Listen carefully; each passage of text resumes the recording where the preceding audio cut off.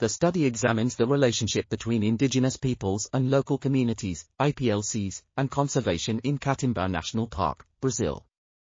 It finds that IPLCs have a strong motivation to conserve and exhibit local institutions such as forest gardens and sustainable use regulations. However, the strict form of protected area implemented at Catimbau has clashed with their way of life and resulted in long-term conflict due to governance deficiencies, including misrecognition of local values and customary institutions, lack of procedures for consent or decision-making influence, and distributional harms.